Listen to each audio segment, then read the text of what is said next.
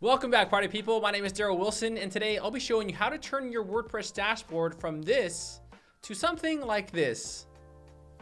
Now, there's a lot of features this plugin offers that I wish WordPress had by default. So, for example, with this plugin, you can actually rename the content on the left side. So instead of blog post, you can put write post. And guys, this is great for clients because clients are brain dead and they don't know anything about WordPress. So you can help direct them on what to do. So uh, this will be the blog post. You can put something like products, like make product, click here, and you can rename all these on the left side. Also, you can see the analytics. So you can actually integrate Google Analytics right on your dashboard. So your clients can always see their page speed, their page views, and everything else. And I think that's really cool. They include the page speed and everything else just to let them know how their site is doing. Now, also what you can do with this plugin is that it, I wish WordPress had this by default is you can actually categorize the images on your WordPress website. So for example, in my library, you can see I have all these images and you can create specific folders and put each image inside of that folder to really help categorize the images in your WordPress website. So for example, I'll click on e-commerce, all of my e-commerce images will be there. And then for images for clients, all of my you know images for the clients will be there and then I can just go ahead and add any folder I want and I can even change the color. So to download the free version, you'll go to admin2020.com and you'll click on buy now. It is a little confusing to get the, the free version, uh, I won't lie, so it, I had trouble downloading it. And you'll go over here to lite and then go to free and click on download. And then you'll go ahead and put in your first name, your last name, your email, and your business number. And once you're done with that, you'll click on continue, and then it'll give you the option to download the lite version of this plugin. All right, so we installed the plugin and I activated it. Now, once you activate it, your WordPress dashboard and a lot of options will be very different. Now, one thing to note on the top right side, you have some options. So you can change this from dark mode, you can show the screen options, and you can also hide WP links as well. There's also uh, other various options like show screen options and also view the websites. Now, whenever you want to make a page or post or something, you can do it from right here. So new and then post or page.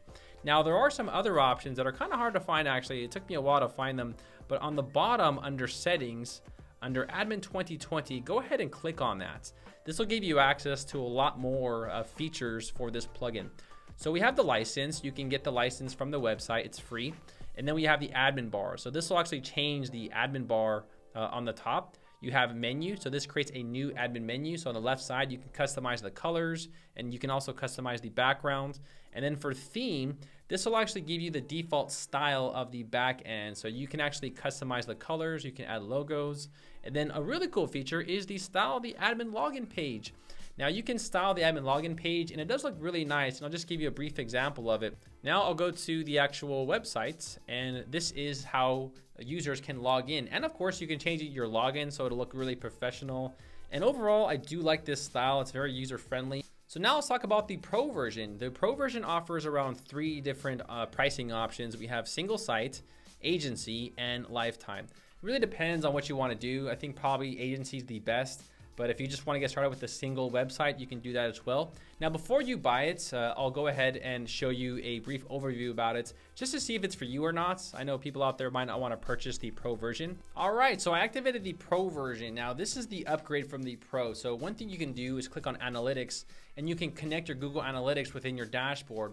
You can also hide specific analytics that you don't want your uh, client to see. So you can go say, hey, I don't want them to see the country or visit by page or any of these other options. And then you can click on save just to make sure that that's working. And on the top right side, these are all, all the same. There's nothing new. So, but again, if you want to change it to, to dark scheme, I like the way this looks. I just think it looks really, really nice. Now, let me talk about the other options that I think are pretty useful. Now, one of them is the actual content. So on the content on the left side, you now have the option to make folders. So you can click on folder and this will be Darrel and I'll have a green little icon and I'll click on create. And all right, you created, are you done? All right, and good. And then what we can do is um, under media, you'll say, all right, uh, I want this image to be under Darrel and we'll drag and drop it and then we can go ahead and just drag all the images that you want within that specific folder. I do like the drag and drop uh, interface. I think that makes it really fluid and really easy to use. And let's click on the bottom left now under settings and we'll go to admin 2020.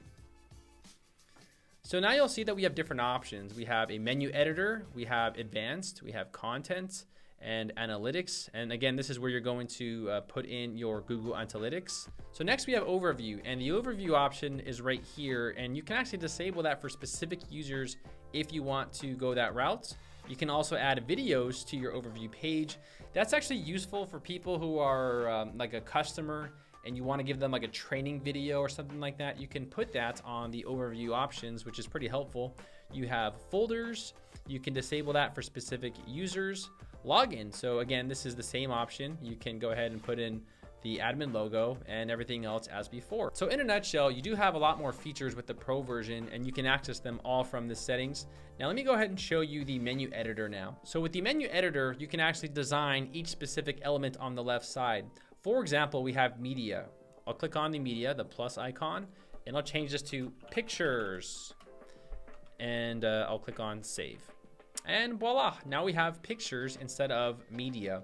And then what you can also do is you can add a specific um, icon and you can also hide this for specific roles. So if you don't want your client to see something, you can actually hide it and just not let them see what you're working on, which I know can be very helpful because clients ruin everything. And then they have a sub menu here as well. You can add in a sub menu and just add different options on the menu on the left side if you want to go that route. Now there were just a few cons with this plugin. I don't want to make everything sound like peaches and cream. Uh, on the home for the dark mode, you really can't see some of the notices. So uh, that's just because they have it in a different format, I guess, or there's something wrong with the plugin. But uh, that was the only thing that I saw. The other things all work just fine. Uh, one other thing too, under the plugins and clicking on add new, uh, the plugin text is a little scrunched. And what I mean is now you'll see how it's a little scrunched, but you can fix this by just closing that and that would be it. So those are the only things that I saw that might have been a small drawback of the plugin, but overall, I think it's a very cool plugin. It's very useful. And if you want to try to add this on your WordPress website, go bonkers. I think they did give me a discount code. And if they did, I will leave that in the description below of this video. My name is Darrel Wilson, and I will see all of you party people in the next video, guys. Take care.